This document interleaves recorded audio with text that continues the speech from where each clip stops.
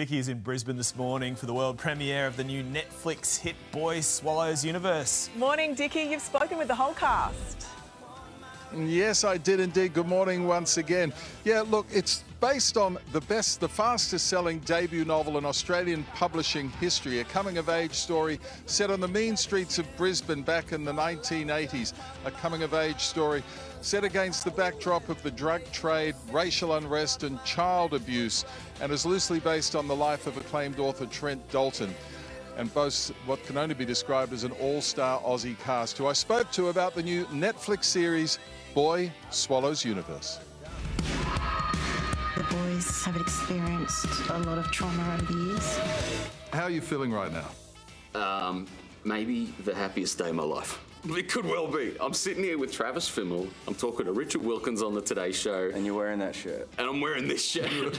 I'm pulling out this shirt and it's shining bright, Richard, because it's probably matching how I feel. Yeah, I'm feeling good, mate. Yeah. This has got to be every author's dream come true, I would have thought, especially for something as personal as this. It's funny that you say that. Like, um, I've, I've written many impersonal things, and, and it's funny that the thing that was deeply, deeply personal is the thing that caught fire. That was really embarrassing. You're embarrassed? Mum was there an addict and you're the idiot who got her hooked. Was it triggering at all to see your life flashing back before your eyes? It was when I walked on set. First day on set is what first day I saw Travis playing this guy who raised me, this kind of really, if there is such a thing, a really incredibly lovable heroin dealer that kind of raised my brothers and I. but particularly seeing Felix Cameron playing Eli, dressed in the same school shirt that I wore, Richard, when I was a kid. And I dead set. I, I, um, I went up, I gave Felix a hug, and I said, I grabbed him by the shoulders and I said, Are you good? I hope you're okay. And 45 minutes later, I turned to my wife, Fiona, and I said, I've got to go. The thing that gets me is that this stuff is happening in our society. Yeah. And a lot of kids are going through a lot of stuff because of it too. Huge domestic abuse issues right now in this country, and I can't. I just get very moved when I think about people who might see the Frankie Bell character, which is absolutely my mum. How's that make you feel? Yes, stop it, I'm gonna to you. He told me he's gonna make me cry in front of Richard Wilkins. I've got him, I think. I'm not gonna he did it cry in front of Richard Wilkins. It's a fact. There's just amazing single mums just powering through. And I just can't wait for people to see this and go, sometimes there is the light and sometimes it gets good. Now I'm not crying. I'm not And you're giving them hope. Mum, what are you doing here? Shelley Huffman's mum had to take her to the doctor, so I volunteered. Why didn't you tell me? You're 13. Eli, I don't have to ask your permission to work at the school canteen.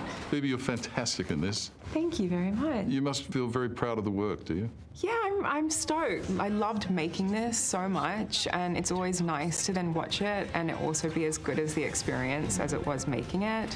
When you A-listers get together, it must sort of bring out the best in you, I, I, I would suggest. Yes, yeah. I mean, look, every set's different, Richard. Like probably every interview's different. This set had an energy to it, and I think, and I think there's that sort of hope and optimism in the book and, and in the series that was there and really present on the set. What was really nice about this job is even though I think the story is so universal, there was something just so Australian, and I felt like we kind of all, at least I'm going to speak for myself, indulged in the Australianness of it. Like, I mean, my costume was like Havaianas and like boy shorts. I all but had like a Mambo t-shirt on. Like, it was just so Australian. Mate, it was so 80s. It was so like Australian. some of the stuff. I mean, I don't even think you were born in the 80s. 89. Okay, So yeah. straight in. But you know, some of the stuff where you're like, I forgot about that Yeah. and those things. You stay here, they'll catch you and they'll put you in care like they did me when I was a young nipper, and you can see how well that worked out. Travis, it's quite a world to be stepping into as an actor. It's a, a, a rich tapestry to be messing around with. I mean, tell me what you drew on. Well, I drew on a script. It was just a ridiculously entertaining script. And then um, I was just blown away when I got on set and saw the kids act.